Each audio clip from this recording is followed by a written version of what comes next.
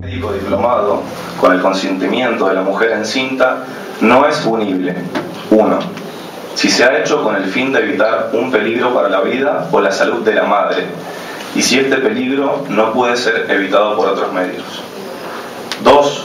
Si el embarazo proviene de una violación o de un atentado del pudor cometido sobre una mujer idiota o demente. En este caso, ¿sí? en este último caso, el consentimiento de su representante legal deberá ser requerido para el aborto.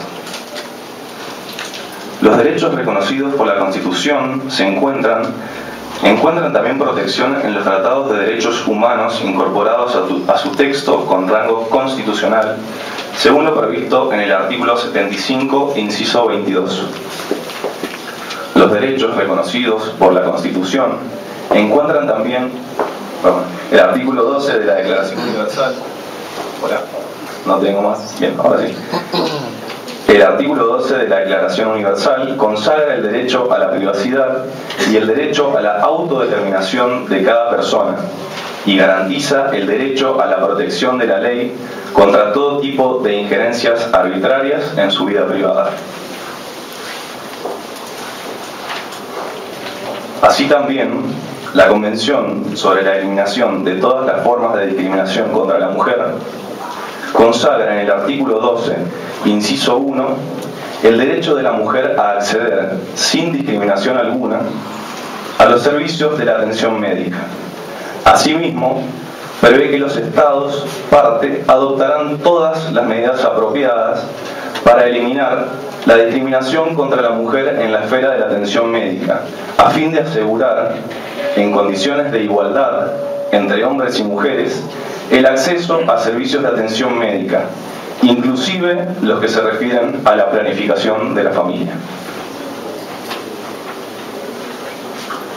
La Declaración y Programa de Acción de Viena afirma en su artículo 18 que los derechos humanos de la mujer y de la niña son parte inalienable, integrante e indivisible de los derechos humanos universales. Qué triste que hoy en día tengamos que aclarar estas cuestiones. También en la sesión especial de la Asamblea General de las Naciones Unidas en 1999, los gobiernos decidieron ratificar lo acordado en la conferencia de Beijing en relación con los servicios de aborto. En circunstancias donde el aborto no esté en contra de las leyes, los sistemas de salud deben entrenar a sus proveedores y tomar otras medidas para asegurar que el aborto sea seguro y accesible. Deben tomarse medidas adicionales medidas adicionales para proteger la vida de las mujeres. Por otra parte, el Comité de Derechos Humanos ha recomendado al Estado argentino que para los casos en que se pueda practicar legalmente el aborto, se supriman todos los obstáculos a su obtención. El aborto no punible ya se encuentra regulado y es una norma de cumplimiento obligatorio para todo el país. Lo que exigimos es que se garantice, por medio de una ley, la elaboración de un protocolo que asegure el acceso oportuno y en condiciones de igualdad a servicios de calidad para la interrupción del embarazo en los casos permitidos por la ley, teniendo en cuenta todos los cuidados previos, durante y posteriores a la práctica. También queremos dejar en claro que estamos en total desacuerdo con la judicialización indebida de la autorización de los abortos permitidos por la ley, lo cual no hace más que generar demoras en la producción del diagnóstico y en la prestación del servicio, generando graves daños físicos y psíquicos en la víctima. Nuestra Constitución y los distintos tratados internacionales anteriormente citados se expidan claramente con respecto al tema. No obstante, consideramos que hay preguntas cotidianas que también son de gran importancia y que no deberían dejarse de lado en estas audiencias. El tema es, ¿qué es lo que nos preguntamos? Si prestásemos atención a estos cuestionamientos, tal vez daríamos cuenta de nuestras falencias. ¿En dónde fallamos si al enfrentarnos a una víctima de violación cuestionamos la forma en que vestía durante el hecho?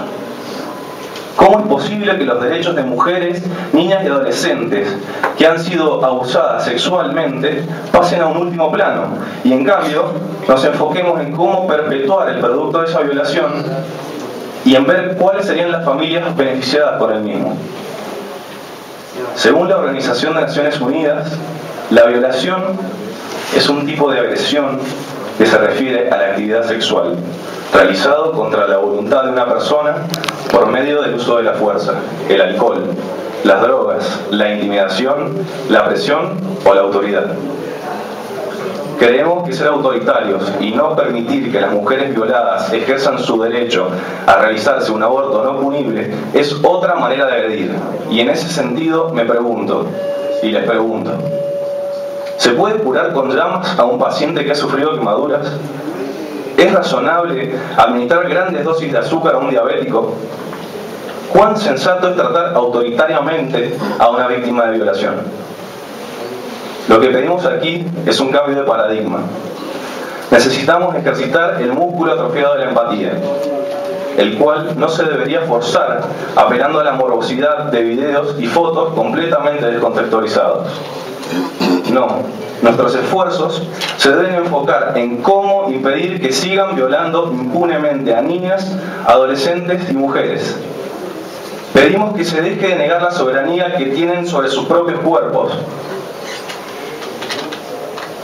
en lo que respecta, y particularmente en lo que respecta a estas audiencias, que se escuche y respete la decisión que tiene una víctima de abuso sexual sobre su persona. Esta falta de empatía de la que les hablaba no es sino el producto de siglos de educación patriarcal en la que todos y todas hemos sido educados. Personalmente, siento que todavía estoy a tiempo de aprender que mi condición de género, sexual, económica, religiosa o intelectual no es motivo para imponerme sobre los derechos de otra persona.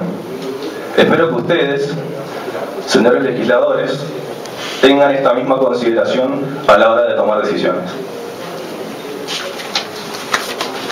Gracias por escuchar.